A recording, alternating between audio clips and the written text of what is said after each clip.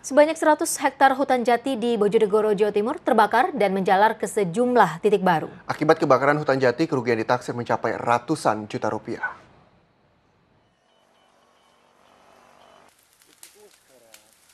Sebanyak 20 titik lahan hutan jati di Kabupaten Bojonegoro, Jawa Timur terbakar dan menghanguskan tanaman pertanian yang berada di sekitar lokasi hutan.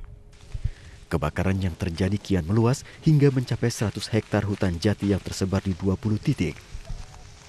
Menurut pihak KPH Bojonegoro, kebakaran yang terjadi selain musim panas juga disebabkan karena kesengajaan membakar untuk membuka lahan pertanian hingga merembet ke kawasan hutan jati.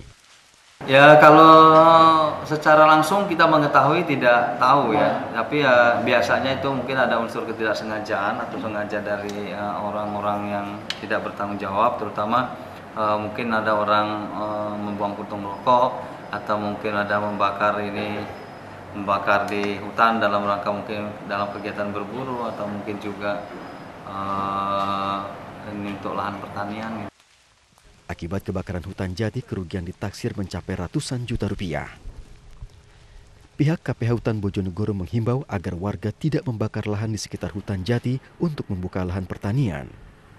Dari Bojonegoro, Jawa Timur, Dedi Mahdi memberitakan.